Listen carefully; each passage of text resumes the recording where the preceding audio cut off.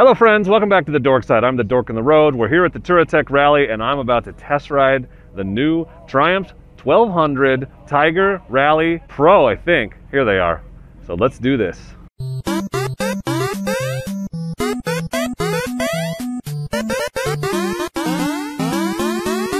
Uh, your ride modes are just like the Rally Pro, the 900 Okay. mode. I really like the, the gauge system. Yeah, that's cool. Here's your off-road Pro.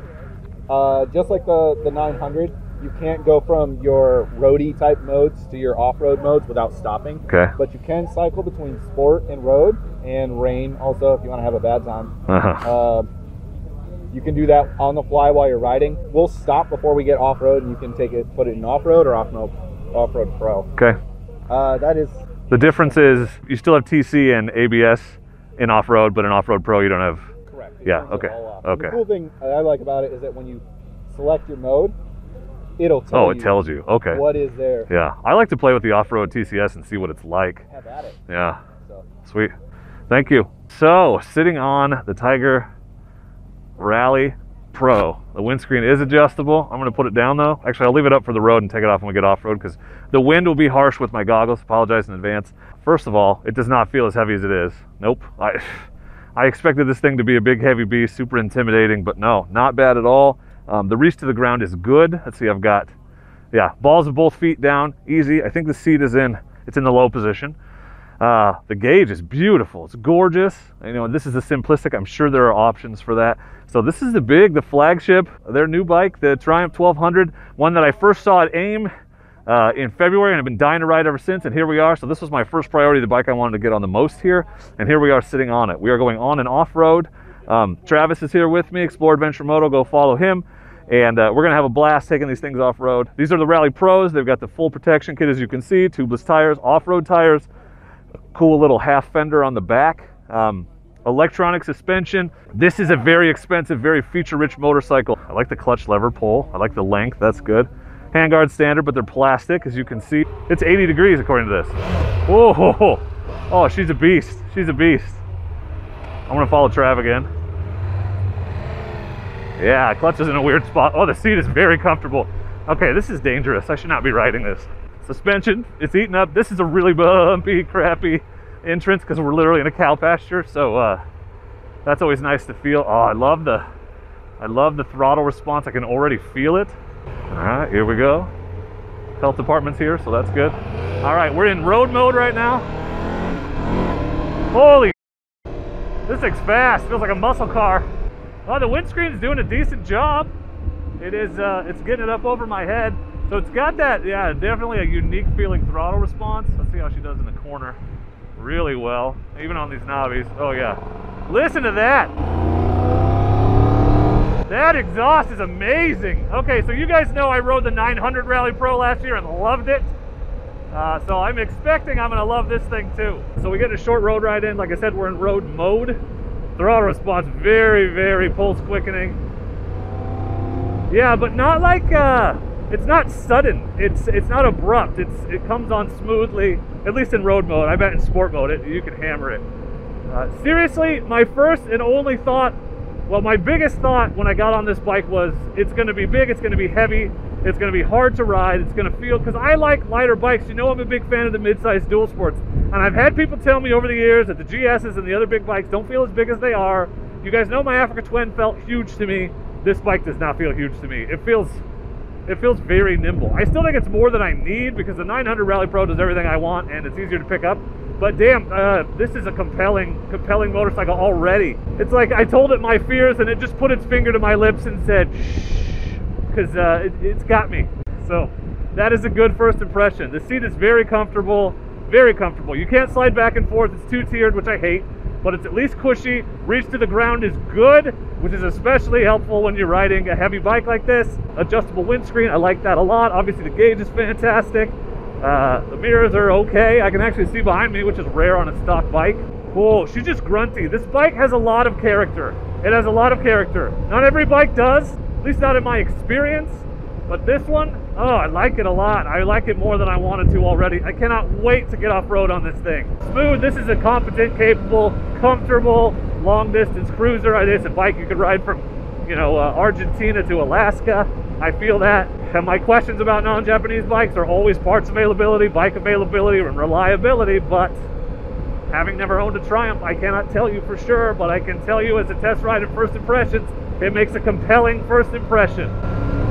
Oh yeah, it's grunty. I love the sound. I love it. Triple has a very unique character. All right, this is a much longer ride. So Oh yeah. She gets it. She gets it. It's not super flickable. Part of that is going to be the, the knobby tires, but also, well, it just isn't. You know, it's a big bike. Uh, I, I, would take off-road capable over flickable any day of the week. But it would be fun in these twisties, though. Interesting. I think this is this is only the second shaft-driven bike I've ever been on. After that Guzzi, which uh, you can check out my test ride of the Guzzi V85 TT, and also my test ride of the Tiger Rally Pro 900. I love that bike. Uh, it was amazing ride.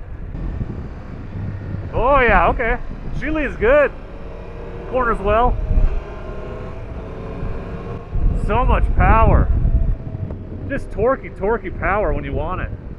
But look, carbs, carbs well enough even on these knobbies. Yeah, she transitions okay. I can't get over how light this thing feels. I forget I'm on a 1200. Okay, mode button. Off-road. Now, off-road, hit the button this time. Yes, okay. Regular off-road. No ABS, off-road map, off-road traction control, off-road suspension. Okay, I, I, love testing out the off-road traction control, so we're gonna do that. Here we go. Let's enjoy ourselves. Oh, the throttle response is definitely, uh, you can already tell it is a little bit uh, more subdued, a little slower, but, oh yeah, you can spin it if you want to. Yeah, you can. This thing is a beast, dude. Does it feel like an enormously heavy 600 pound motorcycle? No, it doesn't at all. In fact, it doesn't feel any different than the 900, except uh, it's faster. It's faster, and it's wider. She's a wide, she's got wide, uh, wide chest on her. Oh, that off-road TC is nice. I remember that from last year. So it's giving me a little slide, but nothing crazy. So this thing just eats up gravel roads. Uh, some really good potholes on this road, some decent little tight corners. Here's potholes in a decent little tight corner. Yeah, so that's good. Oh yeah, the suspension, the electronic suspension, this is the first time I've ever had it, but you can feel it just like eating up the It's just eating it up. So standing position is very comfortable. I like where the bars are. Nice wide tank. It's very easy to grip with your knees. Good throttle response. Very awesome. It's just fun. This is a fun bike. This is it. You're gonna slide the ass end around. Uh, if you don't want to, it's probably gonna happen a little. And if you do want to, you can do it a lot. Yeah, it's jumpy. It's got good, good response, good traction. It's just fun, dude. This is just fun. But is it nimble? Is it nimble? Can you tiptoe through the tulips? I think you can. I think you can. Yeah, it's very confidence inspiring when you change directions quickly on a loose surface like this. Look at all these bumps. Yeah, look at how it eats up these whoops. Amazing, actually. Quite good. Quite good.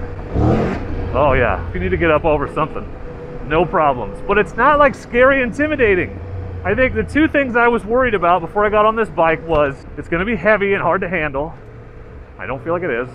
And the power is going to be abrupt and, um, you know, scary, kind of uh, just sort of hard to manage.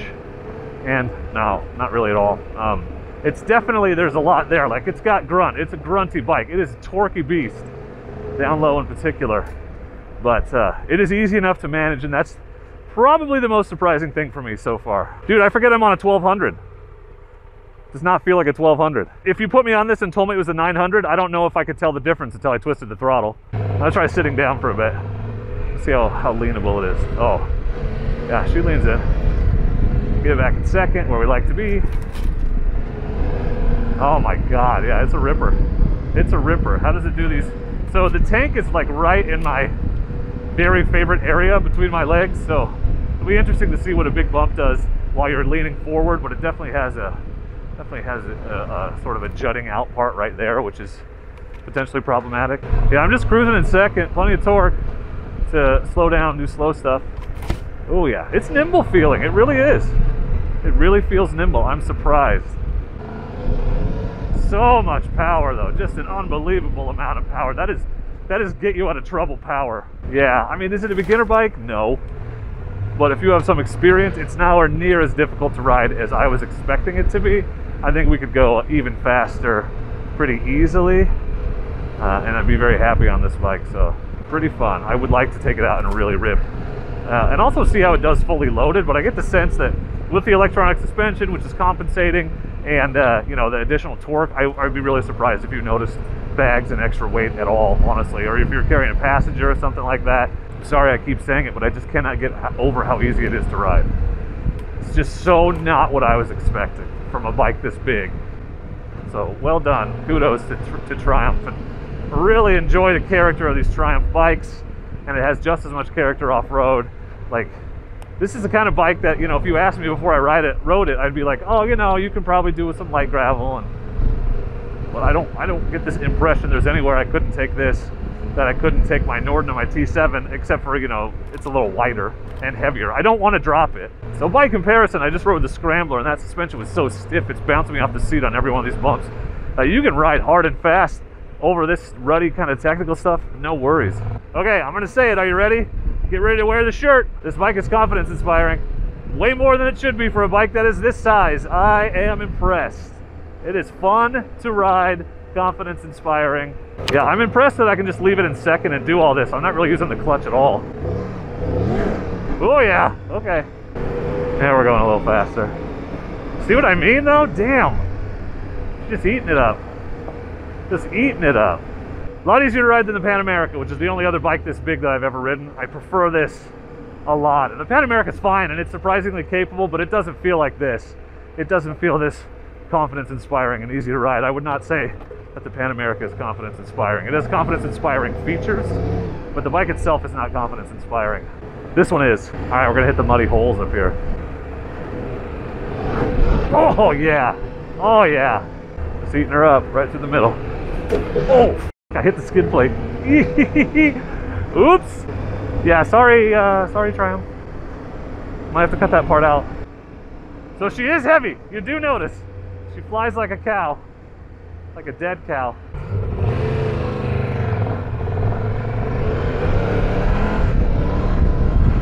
Oh, see, a lot of bikes say rally, but this one feels like you're rallying. Oh, it's really stable when you're sliding the ass around. That traction control is good. Comes in right when you need it. Oh yeah. I could see getting really confident on this. Got some ruts for tiptoeing through. This is fun. Right through that one. This is the end of the road, sadly. We're back on the road. What an impressive beast of a machine. Seriously. Wow. So now we're gonna try sport mode. But while we do, what is this bike for? Well, I would say it is the ultimate, you want to crush a lot of miles and be able to do just about anything that's going to be in your path. If you want to ride thousands of miles, right, if you want to tour but also be able to hit a BDR or do off-road stuff, this is a great bike for that. If you just want to ride on the highway, it's probably a great bike for that too, but there are better ones. Uh, but it's, it is damn capable off-road and incredibly comfortable and, and easy to ride on the road. It is the definition, the very soul of an adventure bike, but with unlimited, basically unlimited power and torque. A lot of character, fun to ride, all the bells and whistles. It's an amazing machine, which you should expect for what it costs. You know, it isn't cheap. It's not a cheap bike, so you should get a lot for your money, and I think this bike has a lot for the money. For me, for the rider that I am, I still prefer the midsize adventure bikes personally. Uh, I would be very happy with a 900 Rally Pro. I don't think I need a 12. I think there is a difference and it is noticeable, but I prefer the 900. I prefer just a little smaller, a little lighter, um, but almost as fast. But man, if you're gonna ride two up, carry a lot of gear, you just want to be able to cruise it beyond freeway speeds for miles and miles and miles.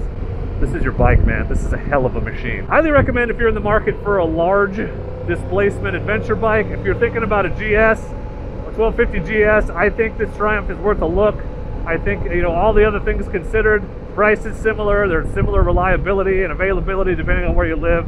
So it's on the list, man. If I was gonna get a big adventure bike, it would be hard to not get this. I would it would be neck and neck with the GS for me for a large adventure bike. And yes, I am including like the Africa, the new Africa Twin, ATAS, and the Harley and all that. It would be this or the GS, I think. I'm gonna get a chance to ride a GS soon, I hope. But anyway, very fun bike, very favorable. So big shout out and thank you to to Triumph for letting us do this, for setting up an off-road test ride.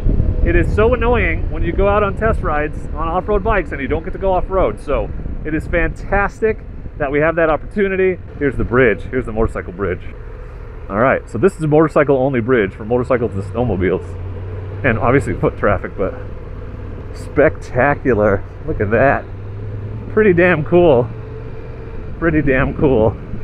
That's fabulous pretty neat we get to go on this. Big shout out to Matt for taking us on an awesome test ride. He's a cool guy. But uh, for now and as always, I just want to say thank you very much for watching. If you have any comments or questions about the Triumph Tiger 1200, feel free to leave them in the comments below.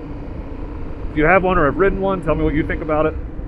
But now and as always, I just want to say thank you very much for watching, and please do not forget to be excellent to each other. Oh, thank you. And now we're back to the washboard. Suspension's a lot better than the other one I rode. Oh, good, my bike's still here. That was awesome, dude. Thank you. That was badass. Yeah, Matt is awesome. Thanks for the thanks for the ride, man. Appreciate it. Hell of a leader.